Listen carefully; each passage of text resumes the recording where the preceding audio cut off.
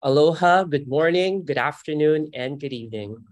Welcome to the second session of the Strengthening ROK United States Science and Tech Partnership on Critical Technologies Dialogue titled A U.S. South Korea Technological Alliance in Semiconductors Promises, Pressures, and Prospects, held with support from the Consulate General of the Republic of Korea in Honolulu and in partnership with George Mason Korea Center for Security Policy Studies. My name is Mark Bryan Manantan, a Senior Research Fellow and Director for Cybersecurity and Critical Technologies at the Pacific Forum, and I will be the moderator and host for today's session. Today's virtual discussion will conduct a cross-cutting analysis on the feasibility of a stronger US-South Korea technological alliance in semiconductors in achieving robust and resilient semiconductor supply chain. Pacific Forum's new Strengthening ROK United States Science and Tech Partnership and Critical Technologies Dialogue is a three-part online series plus an in-person workshop that examines the collaborative partnership between the United States and South Korea in artificial intelligence and robotics, semiconductors, cybersecurity, and 5G and 6G. This series aims to provide policy recommendations that will enhance the flow of investment, talent, and technology between the US and South Korea amid the fragmentation of regional supply chains, great power competition, and geoeconomic volatility. By the end, we hope participants will have a better grasp on how the US and South Korea can achieve policy alignment and synergy to spur greater uh, research and development collaboration in AI and robotics, semiconductors, cybersecurity, and 5G and 6G. For the first session, uh, titled US and South Korea's Prospects and Challenges in AI and Robotics, we convened three experts who offered insights on how the US and South Korea can navigate the complex and interlinked fields of artificial intelligence and robotics, Reflecting on how the US and South Korea can leverage their comparative advantages in AI applications, our distinguished speakers shared their perspectives on how both countries could enhance existing public and private partnerships to promote deeper collaboration in the healthcare industry, robotics, and semiconductors. Artificial intelligence increasing application to discover new microchip technologies that can produce more advanced semiconductors was a notable takeaway from our first session. Likewise, semiconductors' central role in driving computational power and algorithmic training also highlighted its important role in the AI revolution. Key findings of the first session is now available through the link in our chat box. Building on the insights from our first session, today's virtual discussion, a US-South Korea Technological Alliance and Semiconductors promises, pressures, and prospects will examine the opportunities and challenges of US and South Korea's collaboration in semiconductors. Former South Korean President Moon Jae-in vouched to create a semiconductor belt supported by the National Advanced Strategic Industry Act. Under the current Yoon administration, South Korea seeks to become a semiconductor superpower with calls to expand quotas for graduates in the fields of science, technology, engineering, and mathematics. Meanwhile, US President Joe Biden signed the CHIPS Act to provide 52 billion US dollars in subsidies for chip manufacturing and research, as well as an estimated 24 billion US dollars investment tax credit for chip plants. While policy mechanisms are unfolding to facilitate a US ROK technological alliance in critical technologies such as semiconductors, commitments are still far from solid. Now, um, allow me to introduce our three, uh, three speakers um, for today, and uh, it will be followed by a Q&A or uh, open discussion. This is a friendly reminder for all the speakers to keep their presentations to 10 minutes maximum so we can have ample time for questions and discussions. This session is one and a half hours total. Note that participants, uh, you may submit questions in the Q&A box as you have them during the presentations and you don't need to save them until the end. Today's presenters for a second session are Dr. Jun Park, political economist and Fung Global Fellow of the Princeton Institute for International and Regional Studies, Dr. Dan Kim, Vice President and Chief Economist of SK Hynix, and Ms. Alexandra Seymour, Associate Fellow for the Technology and National Security Program at the Center for a New American Security. First, Dr. Jun Park is a 2021 to 2022 Fung Global Fellow of the Princeton Institute for International and Regional Studies at the Princeton University. In 2022, she was selected as an inaugural International Strategy Forum Asia Fellow by Schmidt Futures. She's a political economist by training and works on trade, energy, and tech conflicts, analyzing different policy outcomes as a response to pressures based on governance structures.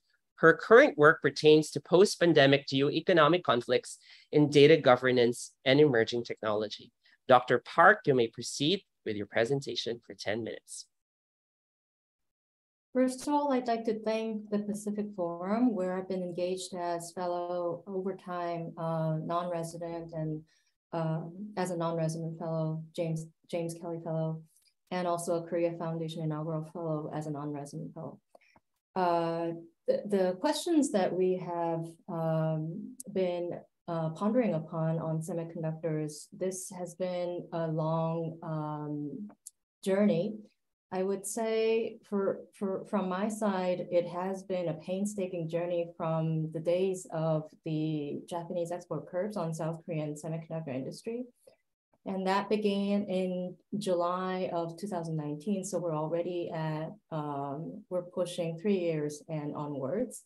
And I'm seeing that this will be a continuous kind of an endeavor um, going into the next decade because uh, in our time, in the next decade, uh, AI will be deployed into several of our um, everyday life. And we're, we're looking into uh, UAM now, and we're, we're looking at a future that is more connected, and we'll see the digital divide that's occurring um, currently as well. It's going to be exacerbated over time. So what I, I'd like to do as a former PAC Forum Fellow and uh, also um, oh, I forgot to thank the Mason Korea folks uh, as a former lecturer at Mason Korea. Uh, what I'd like to do is so, sort of go through the four points that I was asked to answer as part of the discussion. And I will give very brief, yet I'll try to be very concrete about uh, my answers. The first question is what will be the US and South Korea's comparative advantage in the CHIPS 4 alliance or FAB 4 alliance? Mind you, the Chip 4, CHIPS 4 Alliance or FAB 4 Alliance, the details of this has not been clarified to the par partnering countries. There is an assumption that the US will seek to complement what it lacks, which is basically the foundry business. However, uh, when you're thinking about comparative advantage from more of an economic standpoint, what South Korea would like is a synergy effect by partnering with some of the US uh, designing companies. Um, it is not clear whether this Chip 4 Alliance or FAB 4 Alliance will embody that kind of nature. We will only be able to ascertain once the US uh, clearly shows what it intends through this alliance. And throughout my research, I have repeatedly said, uh, throughout my presentations as well, uh, also at a brief hearing on Capitol Hill, that uh, technological alliance cannot exist because of the nature of this business.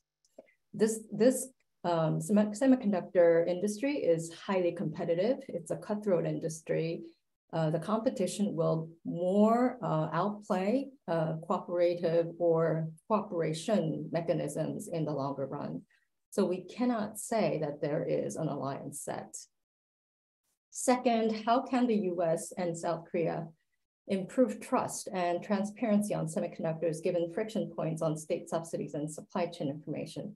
There's a lot to be said on this question because over time, what uh, we have witnessed in the relationships uh, of the US trying to solicit foreign companies, foreign uh, foundry companies to come into the United States is that there is no consideration of alliance per se. It's only in the considerate in consideration of make make it in, in America, make chips in America.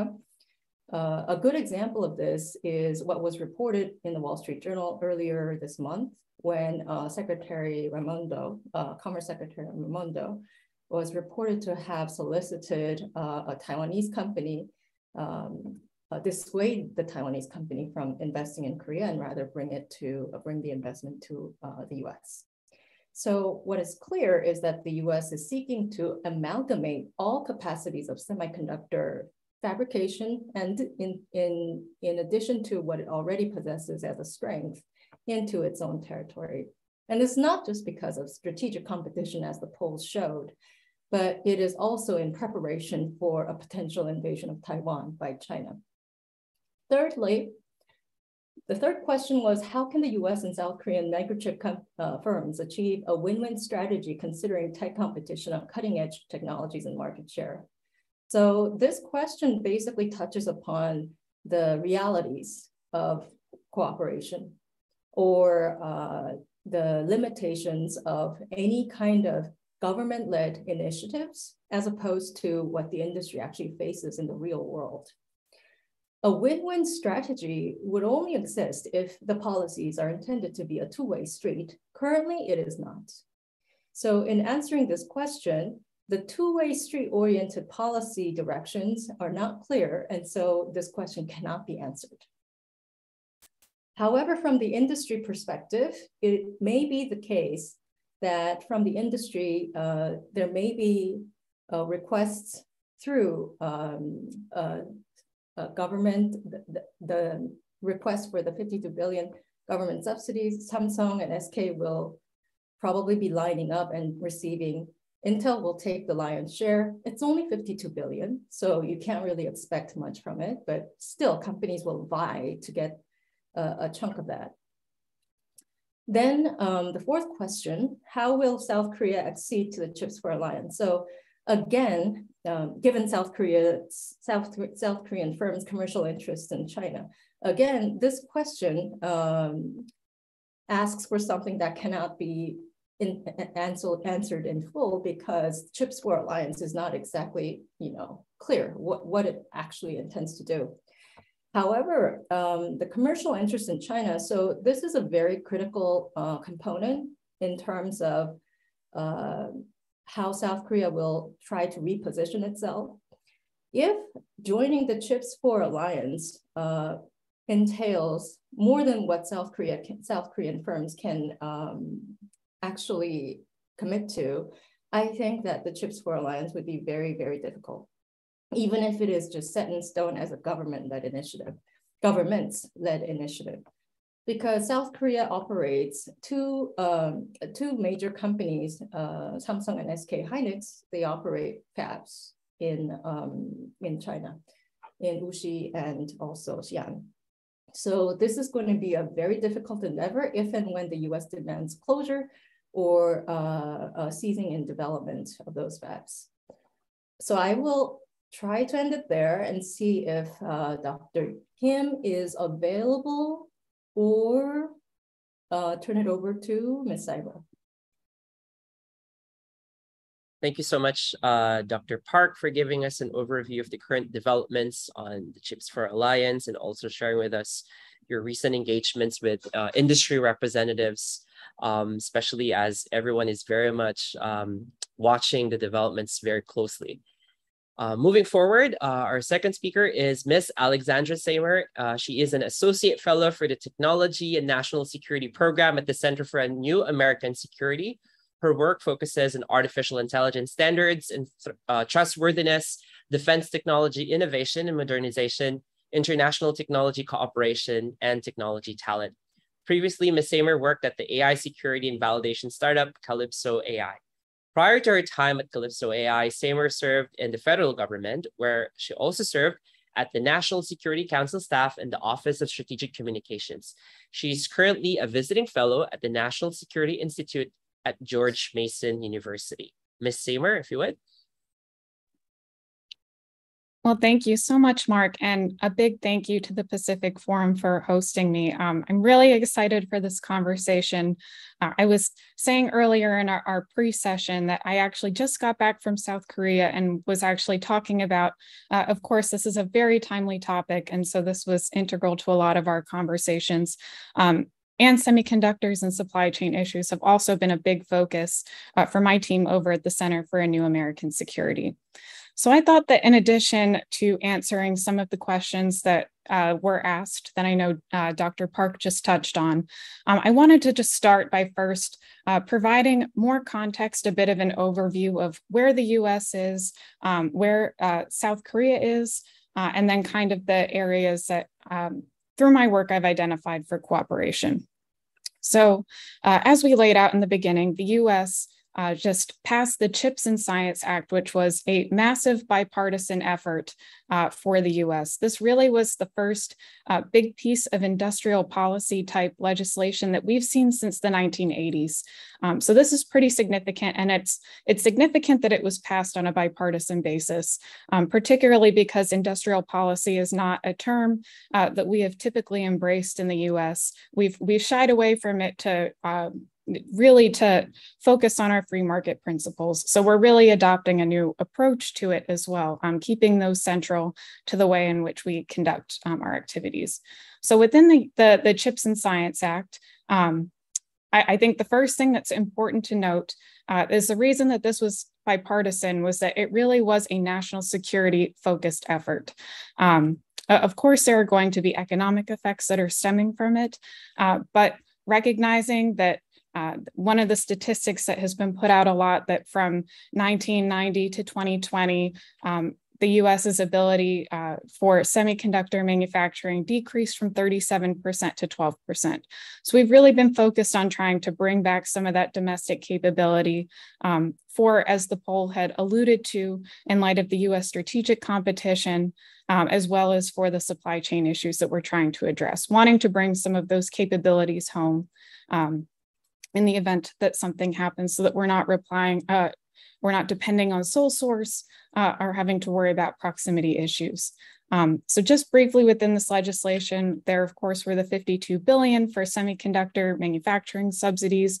Um, these included guardrails for the companies that would receive uh, the funding. So that would be um, that companies receiving it would not be able to invest in China or other adversarial nations uh, for 10 years.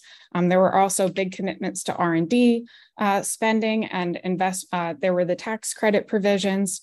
And then the science part, which is yet to be appropriated. Um, a lot of this has to go towards workforce development, other R&D funding, um, and standing up regional tech hubs as well uh, to try and um, share information at, at a more local level and build up that capacity.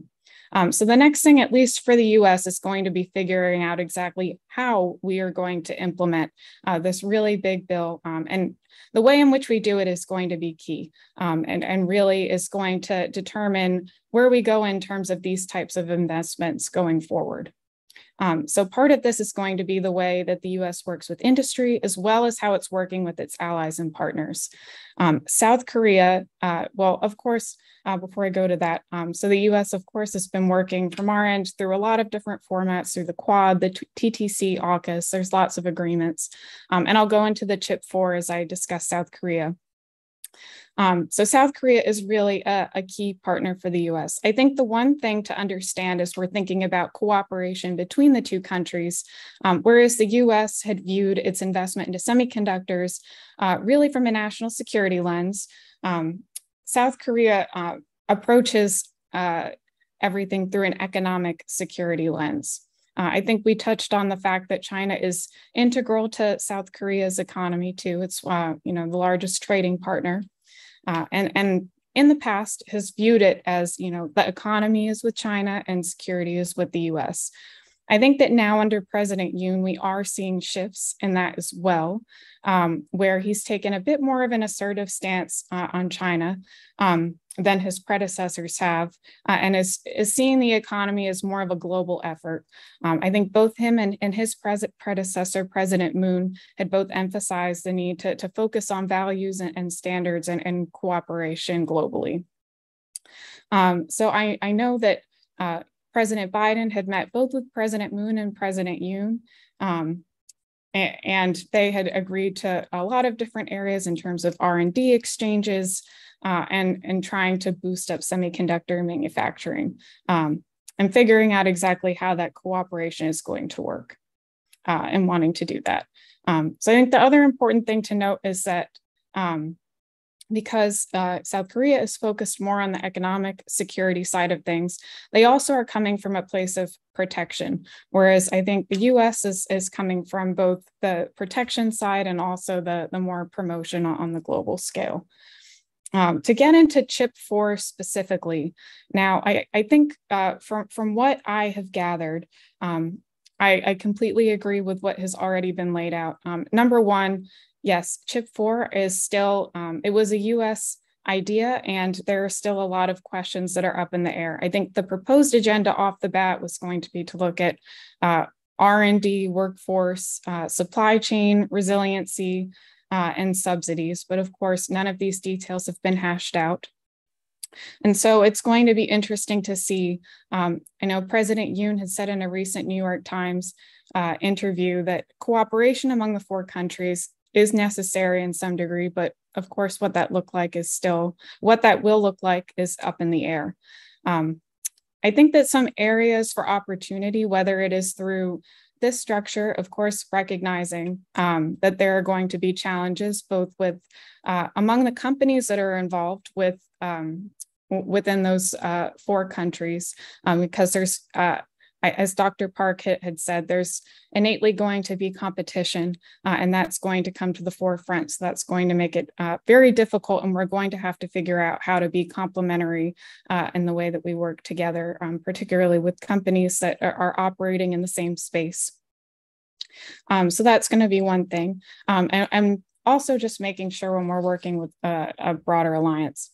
But uh, I think that uh, whether bilaterally or within this structure or within a broader structure that in includes more countries that are committed to, to bolstering the global supply chain, um, a couple things that come uh, to mind. Um, both countries are very invested in research security. I think that this is a great area, um, both that and IP protection.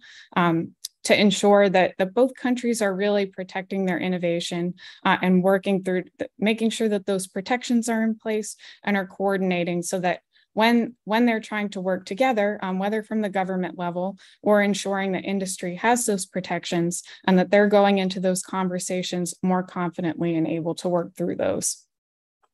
Uh, i think that uh, another area as well um, really would be on workforce. South Korea has done an incredible job with building up its workforce, um, both in uh, high end positions all the way through to just operating uh, any of their fabs uh, and I think that that's something that the U.S. struggles with is, uh, is going to struggle with as it tries to bring that capacity uh, to the United States, is that it just does not have the, the robust network. Uh, of course, tech talent is something that is lacking across the board and something that uh, I think all countries are experiencing. Um, but that is going to be a, a, key aspect to being able to um, actually stand up, at least in the United States, to stand up fabs. Um, and I think given that um, South Korea and the US both have individual strengths as well will be a great opportunity to partner and to share information and to share skills. Um, for the US, the US is uh, leading in design capabilities. Of course, South Korea is leading in um, memory capabilities. So I think that there are um, ways that uh, we can be complementary, particularly as the US has decided to, uh, both the US and Korea have decided to invest and, and prioritize the, the semiconductor industry. Uh, coordinating now is uh, going to be very, very important for making sure that we have comp- complementary um, supply, uh, complementary capabilities, and that's only going to ensure um, broader uh, supply chain resiliency. Um, so I think in terms of that, uh, I'll probably stop there at least to start. Um, there and just wrap up with saying that yes, there are going to be challenges within within Chip Four, um, but whether that or whether it's working with uh, you know U.S. South Korea directly, there are opportunities to to shore up research security, um, to work on IP protections, and to share knowledge through uh, workforce skill exchange. So thank you very much, and I will pass it back over to you, Mark. Thank you so much, uh, Ms. Seymour, for highlighting the convergence and divergent points, um, particularly between the United States and South Korea in terms of implementing the CHIPS for Act or the CHIPS for, and also um, emphasizing uh, the comparative advantages of both countries and how we can um, sort of facilitate um, the feasibility of, of achieving um, the goals that are laid out um, with this very ambitious policy from the US government. And I would like to encourage our audience to please start submitting your questions. Um, you don't need to wait until the Q&A session for you to start um, submitting your questions. You can use our Q&A uh, at the uh, command um, at the bottom of the Zoom chat to send your questions. Um, and also we have a terrific um, audience uh, from the list of the people in the audience, I could say of um, experts who are also working in this area. So please uh, feel free to send in your questions. And now uh, to our final speaker, we have Dr. Dan Kim. He is the Vice President and Chief uh, Economist of SK Hynix and heads the Economic and Growth Strategy team based in Washington, D.C. Dr. Kim directs strategic analysis related to the company's global growth, supply chains, and economic policy, particularly related to the company's presence and growth in the United States. Previously, Dr. Kim was the director of economic strategy at Qualcomm, where he led analysis related to the company's various legal, economic, and policy matters. In the US government, Dr. Kim was the senior international economist for the United States International Trade Commission, where he directed investigations on microelectronics, critical supply chains, and digital trade matters. Dr. Kim, the floor is yours. All right. Well, thank you so much for the invitation. I'm going to share a screen here um, and share some numbers because uh, I'm the economist. So uh, I'm going to uh, take the privilege to do that. All right. So um, I do have some comments about the previous speakers, and I really want to thank them for laying out the uh, laying out the scene here. And I'm hopeful that I could add a little bit more to um, to what they're saying, uh, what they have already said. Um, one thing I would note is that in my view, the US Korea semiconductor ecosystem is already one of the most uh, successful and highly co cooperative ecosystem there is in any technology bilateral relationship. Um, I am all for strengthening this, but I don't think we should start with the assumption that it's not working well or that there's lots of deficiencies within it. Um, I think it's highly successful already um, that we just need to bolster and strengthen. So that's that's uh, my first point. Um, most people haven't heard of SK Hynix, uh, perhaps in this audience they have. Uh, but if you look at this chart here, uh, if you look at the top five revenue leaders for the semiconductor industry, they are either Korean or American firms. Um, so this is uh, last uh, two years ago, uh, last year, um, where we were the number three supplier of semiconductors in the world. Um, this does not include foundries. If you included foundries, TSMC would definitely be within the top five. And of course, you have um, um, Intel, Micron, and Qualcomm as uh, the rounding out the top top five, uh, with Samsung being number one in terms of revenue. Um, now, I think sometimes we discuss semiconductors as if it's a, a end use in, in itself. We have to forget that they are foundational technologies that are essentially intermediate goods for downstream production and services.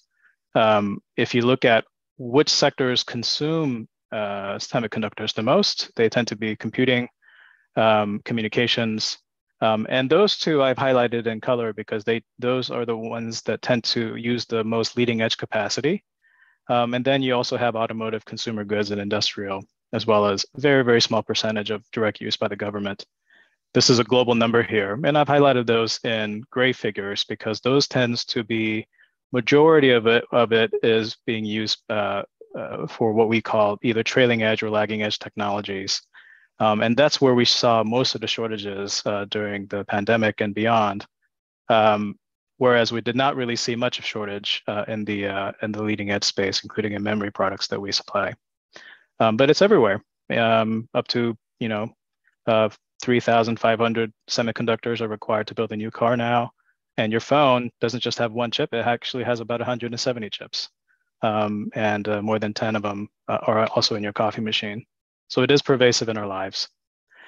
Um, so there are significant economic activity at each stage of the supply chain, but it is ultimately an internet intermediate product. Um, I've highlighted here uh, some of the economic analysis that we've done here internally because we wanted to see what global impact we've had economically as a company because we spend so much of our investments purchasing um, equipment, materials, and other uh, things that need to enable our facility, global facilities, what we call upstream spending. And then, of course, we have significant operations globally. But we also wanted to track how much economic activity we enable downstream. And when we tracked all of that, uh, we found that we support about uh, $40 billion worth of economic activity upstream. and then um, about 315,000 jobs. But downstream is more significant. These are your mobile phones, these are your laptops, these are your servers. About $167 billion of economic activity we support and more than a million jobs. Um, so we do sit in a critical space. Um, now, to put figures on uh, the comparative advantages that uh, our previous speakers have, have alluded to, um, the US is by far the, the leading country when it comes to semiconductors. Um, they capture about 54% of the global uh, semiconductor revenue, um, and they consume about 33% of it. And so they're consumer, they're leaders in both production and consumption of chips. You see in Korea there we have about 22% of the revenue and about 11% of consumption. Um, you know, uh, Ms. Seymour uh, referred to this uh, uh, statistic here, the concern in, in the orange figure that you see um, uh, on the left, um, uh, about 40% of, of global production capacity within the US that has shrunken down to 12%. But if you actually look at the share of revenue that US industry has captured, it started out around the same, around 40%, but it actually has increased. So what you're seeing here is that the US industry has figured out ways to increase its competitiveness overall um, while uh, managing to outsource uh, various parts of the production overseas. Um, there is various factors for that. There, ha there has been the memory consolidation as well as the um, proliferation of the, uh, the foundry model um, that TSMC has, has become a leader in. Um, but, you know, uh, make no mistake, the US industry has been a huge beneficiary of the shifts that we've seen in the last 30 years. Um, I understand the desire to, uh, to, uh, to, um, uh, to bring more domestic production back, um, but still by far the US is the leader in this space. Um, another, uh, another way to look at it is that the US is uh, dominating in terms of design automation software as well as core IP. Um, and the semiconductor ecosystem globally would not exist or function without the manufacturing equipment that is sourced from the US. Um, and of course, the logic chips um, that is designed um, and sold are uh, three thirds of which is uh, captured by US companies. Um, and yes, we do uh, produce quite a bit of memory chips within the within uh, in by Korean firms, including uh, by SK Hynix but US firms also have some significant presence there as well. Um, so uh, I am of the opinion that the industry will in the future be driven by technology partnerships and consortiums. Um, partly because the scaling that we have achieved as an industry in terms of shrinking the transistors and getting the raw power uh, of Moore's law um, meaning doubling the, uh, doubling the number of transistors within the same square inch of the silicon, that, that, is, that road is running out of room in terms of both economic and uh, physics of, of Moore's law. Um, so what is now needed is better communication um, and better incorporation of different types of chips, such as memory, such as logic um, and analog, so that the chips themselves communicate better and integrate it better. And that inherently means more cooperation. Um, so I actually do see good, bright prospects for technology cooperation between the United States and Korea, not only at the government level, but also at, uh, at the company level. Um, and this includes uh, chips that make logic and memories, but also includes companies that are up and down the uh, uh, uh the supply chain. And by that, I mean the upstream suppliers, the equipment makers, materials, as well as our customers. Uh, we will all need to be in sync in terms of how to cooperate better um, to push for the technology that has been such a critical part of our daily lives. Um, I just uh, wanted to leave it there um, in terms of presenting the numbers. Just wanted to make a couple of comments uh, in the minute that I have. Um, one, I, I definitely agree that the CHIPS 4 has not articulated itself, at least by the US government, as to the primary purpose of that and the agenda. And I think I do find it interesting that Korea and the United States already has a very fruitful bilateral dialogue when it comes to su supply chain security that has substantial portions of semiconductors within it. Um, and that seems to be driven by the Department of Commerce in the United States um, and its counterpart in Korea, whereas the CHIPS 4 seems to be driven more uh, by the State Department in the United States and its counterpart in Korea. So I think we have to be careful not to draw conclusions about which actors within both of these governments are driving it. Um, and I would also say that um, I'm certainly, I certainly hope that uh, the the CHIPS Act grants, um, $39 billion, which will go for manufacturing grants, uh, that the lion's share will not go to any one particular company, that it would be distributed um, according to the, uh, the strengths of the applications that we put in. Um, so I'll leave it there um, and look forward to the discussion. Thank you. Thank you so much, Dr. Kim, uh, for your remarks and, and giving us uh, more details about, you know, reinforcing the idea of the stronger US uh, South Korea um, bilateral cooperation in semiconductors. And also thank you to our other panelists, Dr. Park and Ms. Seymour for sharing your thoughts on this very uh, timely topic on semiconductors. I'm very sure that there are many questions and comments uh, from the audience. We have about 30 minutes left for questions um, and discussions. Um, and also to our participants, let me remind you that you have two options for asking questions or making comments. One is to raise your hand in the webinar controls, uh, which is accessible from the participants tab. And the other is to open the Q&A window. To ask a question, you can type your question into the Q&A box and click send. If you raise your hand to ask your question verbally, the host will enable your microphone and will ask you to unmute yourself. And please be ready to unmute yourself. So I think we have a couple of questions uh, some of our colleagues have posted in the Q&A box. Let me begin with um, a question from um, Suyong Park. Uh, the question is, how did the COVID-19 impact uh, the shortage of chips affect South Korea's place as one of the global semiconductor makers? Did COVID-19 implications um, give South Korea more diplomatic or economic power? I think the question is um, open to all our um, speakers if you'd like to share your thoughts. Um, Dr. Park, Ms. Seymour, or and Dr. Kim? Um, well, you know, one thing I would note is that there were short shortages of various different types of chips, um, but not in the memory semiconductors that South Korean companies uh, are very, very good at making. Um, in fact, you know, we we filled out the survey that the U.S. you know Commerce Department had asked us to fill out, um, and we were very forthcoming. Um, and I think the fact that uh, we were very resilient in our supply, um, particularly our supply to US uh, information technology firms that we sell to, um, had a positive implication on the diplomatic economic power that we have, um, that we were reliable and we continue to do so. Um, so from a company's perspective, I think um, I think we've shown ourselves to be um, good good actors uh, in, in the bilateral relationship.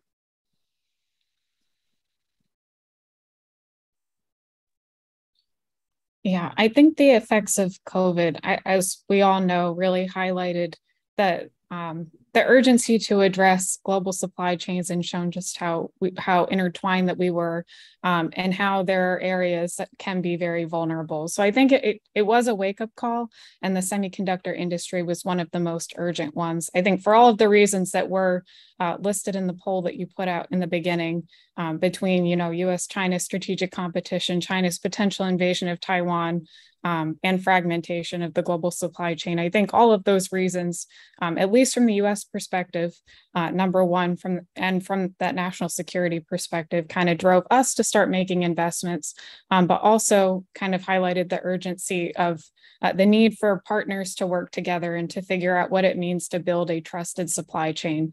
Um, so I think recognizing the role that South Korea has had uh, in the semiconductor industry and and because of the strong partnership that we already have had, only uh, bolstered it through through the crisis and has uh, laid the groundwork for our continued cooperation.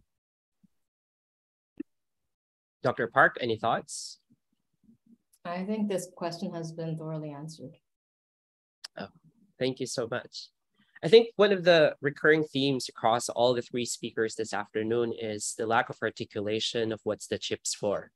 And if I'm going to give you the magic wand to articulate what you would want uh, the CHIPS 4 to be, what would that be like? It's a hypothetical question, but I'm asking all the panelists if, if um, because the, I think the recurring sort of concern was the lack of articulating what the CHIPS 4 is all about and remains in terms of details and in terms of how it's going to be implemented still remains scant.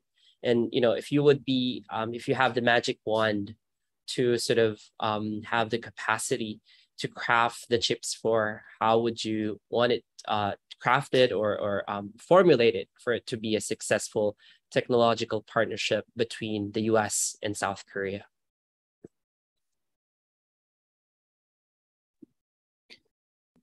I can jump in and take that one first. Um, so yes, I think that at least it, it is difficult to say um, exactly what it would look like. I, I've posed this question to a lot of people myself. Um, but I do think that one area, at least for cooperation, that would make sense um, between US and South Korea and across these countries is on the workforce front and just sharing the knowledge of, of skills. Um, I think because you know all of these countries are, are looking both to make their own domestic uh, investments, um, but also do want to contribute to a more resilient, uh, build resilience at home, but also to contribute to a more resilient and, and trusted supply chain abroad. Um, and, I, and people are the key to that. So I think being able to exchange knowledge on skills um, would, would be a good first step in terms of uh, how to coordinate best practices and, and skills so we can all be better off.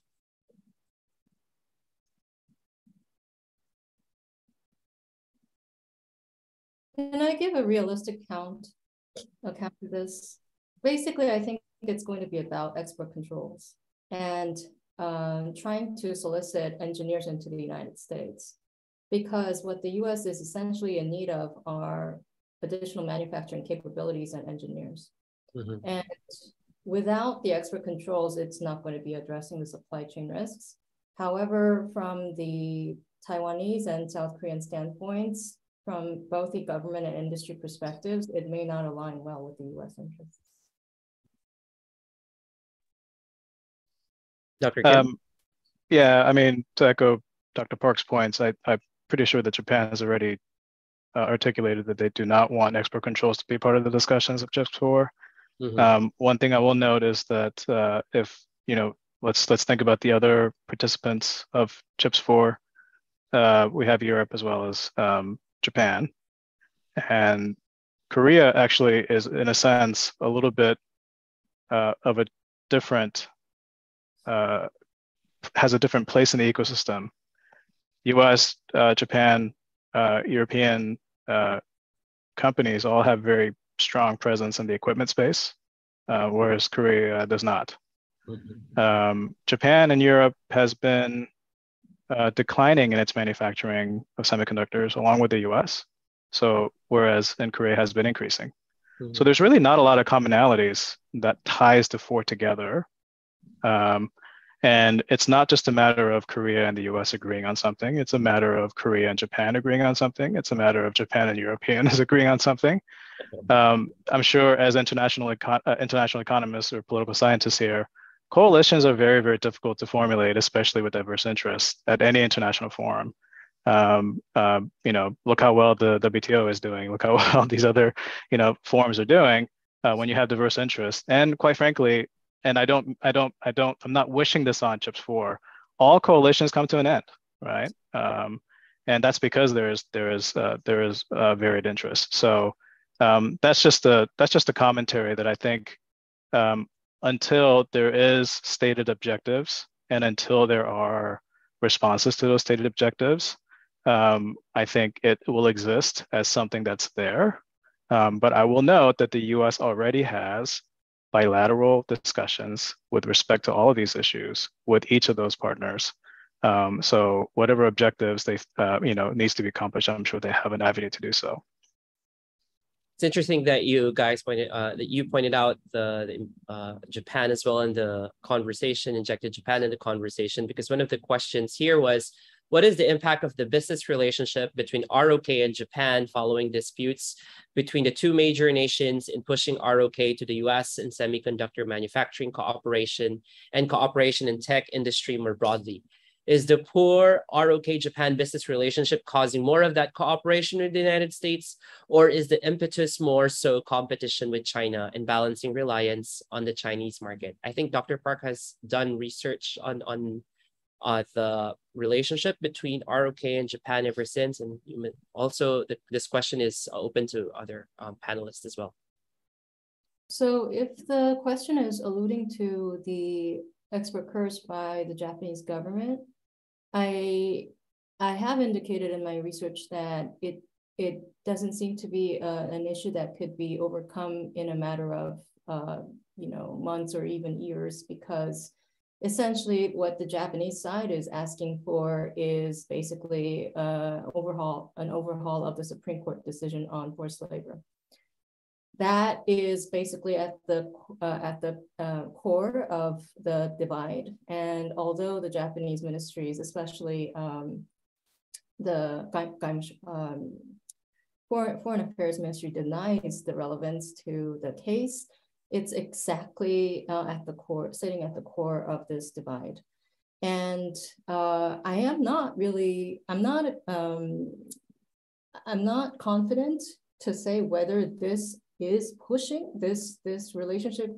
The deterioration is actually pushing the ROK to to the U.S. related um, efforts that are occurring currently, because uh, the ROK Japan relationship is essentially you know, the Supreme Court case, as I said, it's actually at the at the very core. And what the U.S. Uh, has been driving since the the onset of um, the the chip shortages, especially during the the the second second uh, year of the pandemic, I think there is more relevance to Taiwan than this ROK Japan because Taiwan has been highlighted as the, the power player in terms of manufacturing, mainly TSMC. But I'll leave it to other comments as well.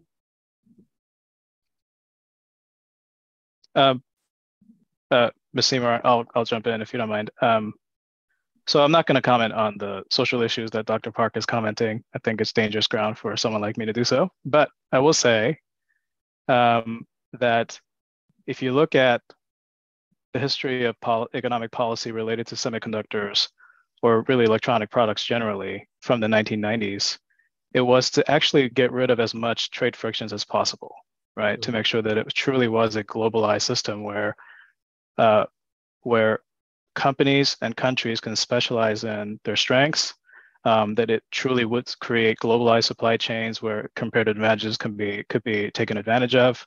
And all of that has been a really fantastic result um, for the economy as well as for the consumers, right? Um, the fact that we are all have a phone in our pockets that have billions of transistors with more computing power that could have been imagined, you know, 30 years ago, I think is a testament to that. Um, so when you start uh, to introduce restrictions to access to commercially available products um, where there are dependence of these things because of economies of scale, um, I think what you do risk is um, having your own strengths become um, diluted because you introduce motivations to diversify yourselves away from those control technologies. Um, and I think you start to see that um, by uh, seeing um, choices of uh, those controlled uh, materials that you know that is at the heart of these disputes um, to see if you know there'll be alternative sources for those things. And these are the exact kind of things that the that you know your companies and your countries uh, do not want, right? Because what you want to be is reliable. Um, and you want to have predictability for your customers. And if you take that away out of the control of the companies, um, then I think you get some um, economically irrational results as a, as, as a result. Um, and you know, and when when this was all happening, I think we would also, uh, you know, we would always get asked the question, couldn't you double up on your supply on these things? And you know, and I think you know, the, the quick answer that I give to that is, you know, for us to enable our factories around the world, we have about 3,000 suppliers um, at, at varying degrees of specialty. Mm-hmm. And so to double up on those suppliers, um, just because in case they become, you know, part of a unrelated, you know, political dispute is impractical. Um, so we kind of have to take this case by case and and deal with it. Um, uh, but I will say that, um, you know, we try our best to stay out of the politics, but we do have to have secure supply chains to make sure that we do um, um, uh, ensure a su steady supply of our chips because we know how important it is to our customers. Thank you so much for those responses. I would um, combine two questions related to China. Um, and this is where uh, I think the, fir the first question is, where does China fit into technology cooperation as a supplier of parts and components? And obviously sharing high technology is not viable. And also the question on China's potential response um, from the government level as well as business level to the so-called CHIPS 4 initiative, particularly uh, to companies such as SK Hynix. Um, would any of our speakers be keen to um, respond?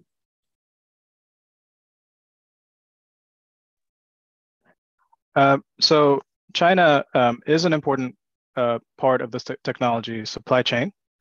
Um, first, they are a large consumer. They're not, uh, they're, you know, over half of the imports of semiconductors go to China, but that doesn't mean that they consume all of it domestically. It just goes into assembly of electronic goods. So the the trade figures do tend to be um, inflated and tells the tells the wrong picture. Uh, but they do consume quite a bit of chips, and they are an important market for I would say all semiconductor companies that exist that you know, trade internationally. Um, so that goes to American companies, Korean companies, Japanese companies.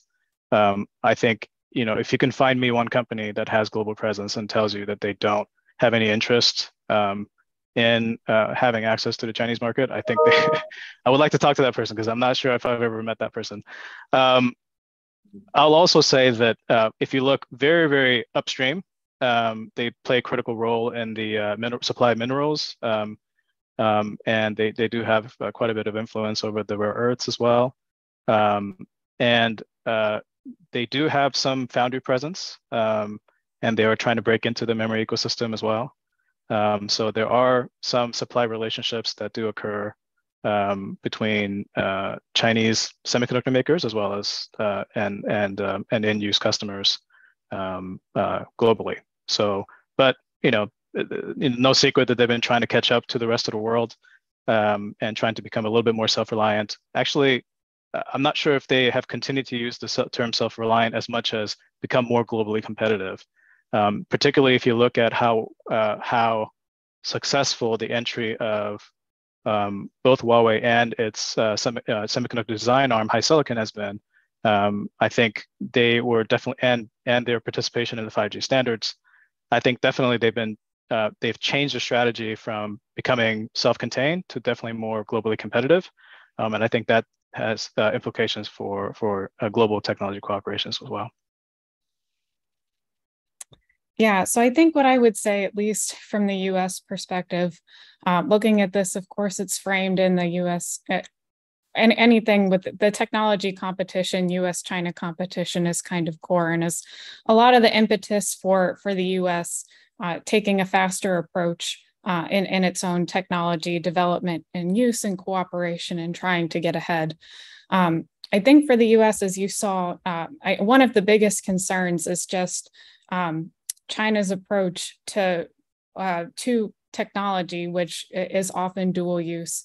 Um, their uh, their tactic of uh, uh, military civil fusion is something that is very concerning to the US, um, only because uh, for any high end capabilities, there is the possibility that it could be used for military purposes. Um, so I think that is something that concerns the US and, and has driven efforts such as uh, the export controls that were um, put on NVIDIA and AMD uh, to export to China and to Russia. And I think that's something we can continue to see as the US defines exactly where those thresholds are and what capabilities um, that they think um, we, we should be trying to move out of China for the sake of national security. Uh, we'll be seeing more uh, actions uh, likely like that, I think, uh, to follow. Uh, so I, I, think at least for the US, it, it, views it through the national security lens and, and for those high tech capabilities moving out of China uh, because of the potential for for uh, dual use nature is something that is is very important. Dr. Park, if you want to add. I agree uh, with what um, Dr. Kim has pointed out on the the consumer um, reliance as uh, China, the Chinese Chinese market continues to be the one of the primary destinations for export. Um, and the reason why I said that, you know, despite the Japanese intent to not in include export controls in the Chip 4, uh, the main US intent appears to be the case that in the event of uh, an invasion, or in the event that in the Ukraine crisis, nuclear weapons, tactical nuclear weapons are used, or um, in the event that China tries to engage in AI-driven missile launches or interception using certain semiconductors, uh, the US doesn't want such a future to uh, come. And that's why I was uh, alluding to the fact that export controls will still be on the agenda, whether Japan likes it or not. Um, the thing is, uh, when it comes to China, uh, the tech cooperate into technological cooperation that the U.S. is considering, I don't think China is in there, but China is mainly there as uh, the prime export destination, as um, Dr. Kim mentioned. So there is an anomaly here. Uh, because all, all of these companies are relying on the Chinese uh, market revenue. At the same time, they're in competition, but they want to curb from the government perspective. So there is a mismatch there. So I think that's very telling based on some of the insights that our um, speakers have shared. Uh, moving along to some of the final few questions uh, that we have, how would CHIPS Act, uh, which also intends to create jobs in America, make an impact on revenue for US companies? Uh, Mr. Jake Sullivan told the US is considering outbound investment screening. What is SK Hynix or business thoughts on this. Also, I think uh, related um, related question to that is fabrication in the US viable without extensive subsidies that are subject to political winds and foreign trade complaints? I think we're now at the sort of perspective of, of the US. If any of our panelists would like to provide a response, those two interrelated questions. Um, so you're asking for SK Hynix perspectives on uh, Jake Sullivan's comments. Um, I have nothing but the highest of regards and and uh, and and respect to Mr. Jake Sullivan and any comments he chooses to make. Um, so I'll leave it at that from the company's perspective. um, uh, I, honestly, I, I, do I do feel that he and his team uh, that they've assembled uh, at the NSC are, are, actually quite quite engaged and um, very thoughtful to approach these things. And um, um, and uh, I you know they've been engaged with us as well and so you know we, are grateful for that um, you know outbound investment is something that they've been uh, thinking about for a long time in terms of the us government. Um, it was sort of rumored to be part of the chips act itself. They couldn't quite get consensus on it at the senate level. And so now i think it's more on the executive order side of it. Um, i'm sure ms seymour could get more into that because i'm sure she's tracking that closely. Um, you know we will see uh, what kind of shape it takes. Um, we understand uh, the uh, the impetus behind it, um, and you know we're hopeful that we could uh, uh um, provide our own thoughts as to you know what practically can be done about the concerns they have. Mm-hmm. Ms. Seymour? Yeah, I guess just to add on to that. So, yes, I think outbound investment screening has been something that has continued to come up in conversations. And you can see that the administration is becoming more serious about it, and it has come through a lot of executive orders. Um, and it, it, does continue to be discussed at, at those levels. So I think that's something that we can anticipate. And I think it's something that the US wants to coordinate with allies and partners. Um, so it is going to come up in, in any of these multilateral fora, uh, whether it's South Korea or other partners, as we're just looking to build a, a an alternative and a, and a, big trusted supply chain um, with with like-minded allies and partners. Um, I think on the viability question, in terms of if we would be able to do this uh, without subsidies, I think that just chips and science was a recognition that um, it, there did come a point, uh, particularly because a lot of uh, other countries have uh, have had big subsidies that have enabled their uh, their sectors to thrive, uh, and for the pace and, and, the scale that we needed, particularly because we didn't have adma- advanced, uh, many advanced uh, manufacturing capabilities in the US, recognizing that that extra injection of resources uh, was going to be able to uh, hopefully catapult it and move it forward to build it up. Now, of course, that's only the beginning. Um, I think the way that the US implements this as a first step uh, is going to be very telling in, in terms of its ability to succeed and will also be uh, will show how, how much um, more resources are needed, at least at home.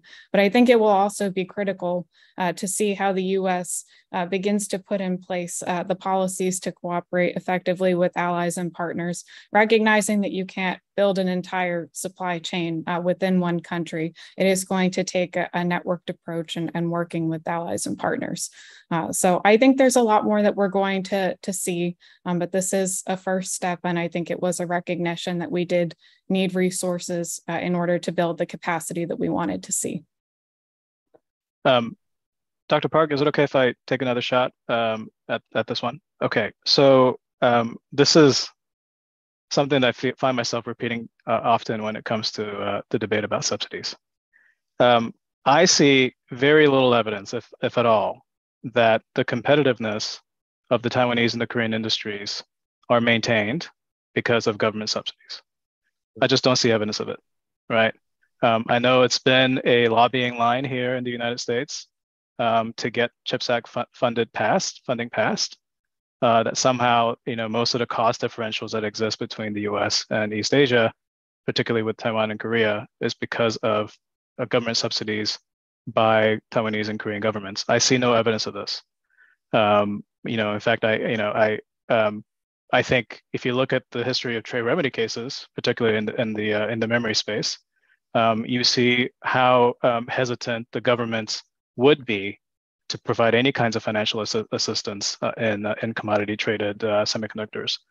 So um, let's before we start blaming uh, Asian uh, East Asian countries, perhaps with the exception of China, for for for subsidies and stealing jobs away from from the U.S let's give credit where it's due. Um, this is an industry that requires long-term investments in infrastructure, in workforce, um, in universities, uh, and long-term patient capital by companies to take incredible risks in the short and long term. Every time we decide to build a fab, it's a risk to our company. If it doesn't pan out, that's a huge risk to us. Um, TSMC, to its credit, um, saw the opportunity to get into the foundry space, trained its workforce, got the government to focus on the workforce training, and hmm. actually did it the right way, right? So I think we are in a in a dangerous spot where um, we could be tempted um, to demonize um, subsidies, uh, you know, um, uh, so-called subsidies in um, in Taiwan and Korea, where I see no evidence that that they first of all happened or that they are what really drove the competitiveness of those places. They're incredibly efficient workers there. They're incredibly efficient and talented engineers there. Um, the trade secrets um, that drive the processes at, at the three nanometer, two nanometer nodes. Um, this is a talented workforce that Taiwan and Korea has developed over time. And that's why the manufacturing has gone there. Um, it's not because of, you know, because the labor labor happens to be you know certain percent cheaper. Um, and so I understand that you know it's an easy political answer, uh, perhaps within the United States, to say, oh, only if we had a little bit of boost here, financial assistance wise, everything will be equalized. That's simply not the case, right? Um, and so I think we have to start at the place where there was specialization. The U.S. industry is doing fantastic. If you want the, some of the production back, you have to invest in the infrastructure and the workforce that tends to bring, you know, that tends to attract that kind of production in these locations. Um, so I know that was a bit of a rant, but um, you know, uh, I is fabrication in the U.S. viable without extensive subsidies? I would almost turn that around. Um, if you have the right, if you have the right um, infrastructure, right, you know, workforce, and the right talent, and the right capital system, um, any place can be can be a viable place to produce semiconductors if you if you're willing to do it, right? Um, there will always be a pull towards you know building in your home country for for a variety of reasons. Um, but I think I admire what the U.S. company, what the what the U.S. government is trying to do. They see a need for both economic and national security reasons. I don't argue with that. Um, I just don't think there needs to be a demonization or wrong arguments about what what is you know what has made Taiwan and Korea successful in the first place. And I think that's particularly important if you want to try to learn lessons that has gone well in South Korea as well as in Taiwan and try to replicate some of those things that have gone there rather than trying to create a zero sum game. I think there's the gains to be had everywhere, right? Um, so anyway, I'll leave it at that. Thank you. Thank you, Dr. Kim. Dr. Park, any no, thoughts? Anywhere where there's electricity and water. Because without it, you can't do the, the operations. um, I would just add to the question that was raised on extensive subsidies, et cetera, that, okay, so if we're looking at the SCM agreement at the WTO, how are we going to enforce that when the US is not uh, hiring or appointing appellate body judges? So this is one question that has been looming since I think late Obama uh, administration into the Trump administration, and then even under Biden, because basically the U.S. is pushing for strategic trade and not fair trade or free trade. This is a, this is what we're witnessing right now, and that's why at the WTO, the adjudication processes, you could file, but you're not going to see recourse.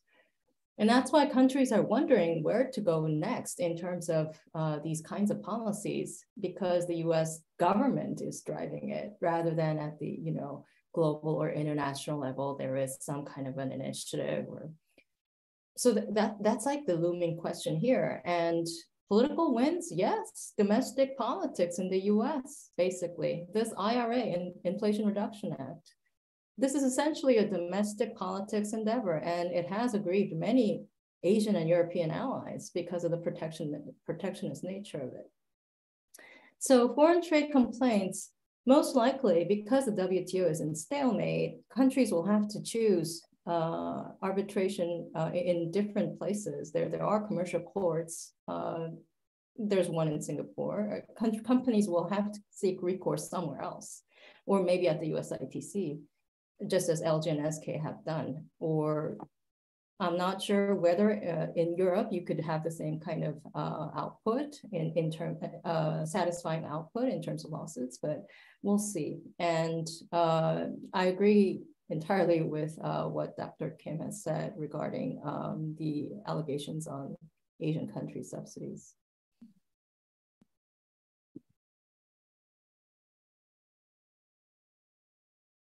Yeah, just to quickly respond to, to, to what Dr. Kim said, and that was not to say that uh, was not making any allegations or anything. I think honestly of chips and science, one of the most important uh, aspects is some of the, the workforce development uh, and r&d funding. I mean number one the investments that we can make into the, our strong suits and then trying to build up our workforce as well because that is a gap that we have.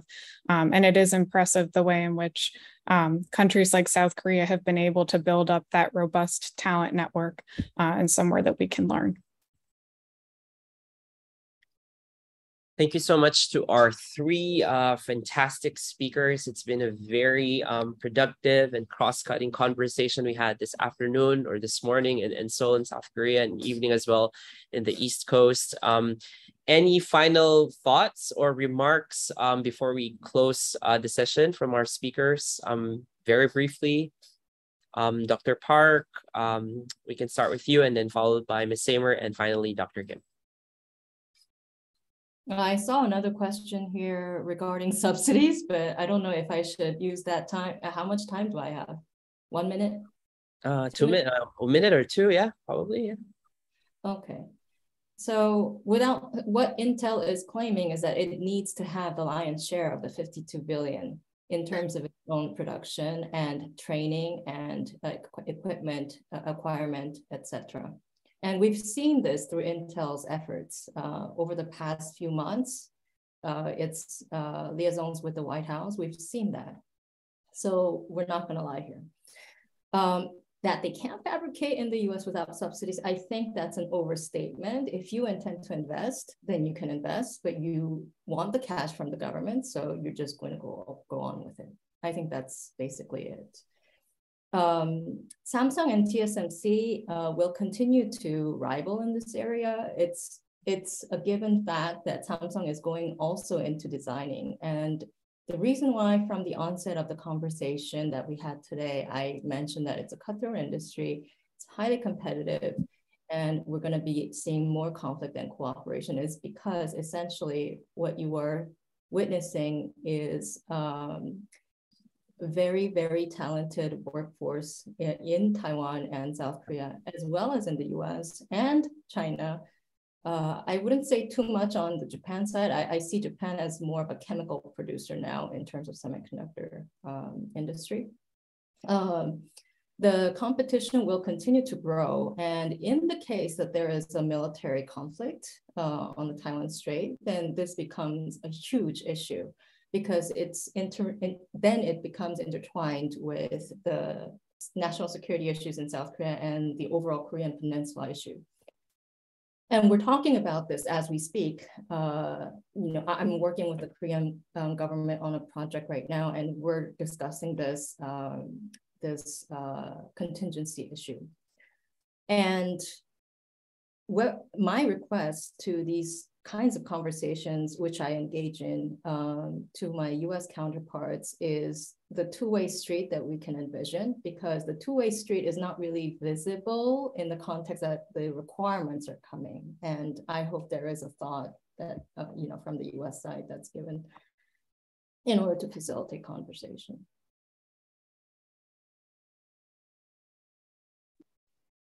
Uh, Ms. Yeah, well, I'll just thank you again for for having us for this conversation. Um, and, I guess I'll just end on saying that I think that this really is uh, a key moment for cooperation, just with I think driven by the uh, the COVID pandemic, as you had mentioned before, there was this heightened urgency worldwide that we needed to shore up semiconductor supply chains. And there's a lot of energy going into bolstering the industry. And I think right now is really key as countries are deciding to invest more in, and to beef up their industries to find the ways in which we can uh, create complementary a complementary system and to uh, both to create a more robust and diversified supply chain. Um, so I, I, think this is a good opportunity to work through uh, a lot of uh, a lot of those areas to make sure we are being complementary and, and not as competitive. Recognizing that competition is innate and it's still going to happen among industries, but I think it's a good opportunity to try to work through some of those issues. Dr. Kim, please. Well, again, thank you for the invitation. Um, I'd like to just emphasize that uh, the cooperate the technology cooperation that happens between U.S. and Korea in the semiconductor space is already pretty high, already very successful. Uh, indeed, we really could not exist as a company um, without uh, being able to use U.S.-based technology in terms of the software and the uh, and and the equipment and other critical inputs to to our production. Um, so we do have we do see a dependence uh, in a good way to uh, to to to US. Um, it's very possible that the, you know some in the US can see their depend uh, dependence of memory chips on Korean companies, but it, I could easily flip that around and say we have a dependence on our US customers to purchase our products. Um, and so I, I don't think it's productive for us to go down into a discussion of dependence as being a bad thing among allies and among friends. Um, you know, this is the economic system that U.S. has championed for for for decades and more than a century, um, and we've done a great job of participating in it and competing fairly, and we hope that that will continue. Um, I do see uh, more room for technology cooperation um, throughout the technology stack as it continues to do so. I, I agree with Dr. Park that you know I, am not sure if we'll see um, close uh, technology cooperation among our competitors, I think that would not feel natural to us. But I do see adjacent companies um, which we can pair chips with for better functionality. I do see some room for cooperation there in that space. Um, and to to get to Richard's question um, on the, on the Q and A box, um, you know, Samsung, TSMC, and Intel have stated for a variety of reasons, as, as Dr. Uh, Parker said, not the same reasons, but different reasons why um, why they would uh, uh, would like access to them. I think the primary reason is, of course, because uh, we're all global. We all have to remain globally competitive. Um, uh, there are natural cost differences between the U.S. Um, and other locations. It is higher cost location um, mm. for for a variety of reasons, especially if you get at the the productivity and efficiency of the production that tends to happen in the US. Um, and so I could certainly understand from a variety of companies' standpoint, they see it and they say, well, we have choices as where we can produce. Um, the customers are the same. So if we choose to produce in one place over another um, for more than economic reasons, is there a way to offset that cost? I think those are natural questions to answer. Um, and certainly um, I've been um, I think the the folks at the Commerce Department, at the White House, and others have been incredibly thoughtful uh, and engaged. Um, and I'm and I'm really hopeful that um, that very and those thoughtful uh, leaders on both sides uh, uh of the countries will, will figure out a way forward to continue the good relationship that the two countries have, particularly related related to this um, uh, re- this critical industry. Um, as important as the uh, you know, semiconductor industry is in the United States, and it has received a huge amount of attention. Um, and I also remember a time when I was covering the semiconductors uh, at, the, at the U.S. government when nobody seemed to care. Um, I have to I have to remind folks here in the U.S. that yes, it is important here in the U.S., uh, particularly if you see cars not being sold because they can't get two or two or three chips. It is of paramount importance to countries like Taiwan and Korea. It is the lifeblood of the economy. It is the lifeblood um, of uh, the future of those economies as well. Um, and so I think recognizing that and not taking that importance lightly um, would be highly encouraged. Um, just because we have somehow chosen to wake up to the national security importance of this doesn't mean that it trumps um, investments that companies have made, uh, the importance that these things have in an export driven economy in South Korea semiconductor exports are a huge part of that.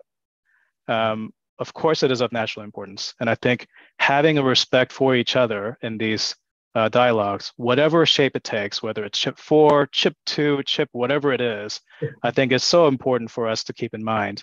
Um, and we as a company will always um, have productive dialogues with, uh, with any government that wants to have conversations with us. Thanks. Thank you, Dr. Kim. Indeed, recognizing a two-way street, as Dr. Park has mentioned, a two-way conversation uh, between um, all the parties or stakeholders involved will definitely be the key in advancing an equitable sort of type of technological cooperation be it on investments or an exchange of talent and technology. And again, thank you to all our participants uh, for being with us today. We hope you'll continue to be engaged with Pacific Forum programming, which you can find more on our website at www.pacforum.org. The third session of this series will be in late October. The topic for the final virtual session will be cybersecurity and 5G and 6G. Please stay tuned for more details by subscribing to Pacific Forum or following us on all social media. I'd also like to remind you, uh, our audience, of the post-event survey available on our event page, which we'll share again in the chat box now. We would appreciate if you would take a few minutes to complete the form and share your feedback as we want to make sure that future sessions are engaging and productive as possible. Finally, thank you to the Consulate General of the Republic of Korea in Honolulu and George Mason Korea Center for Security Policy Studies for making this event possible. We hope that we'll see you at our future events uh, in this series.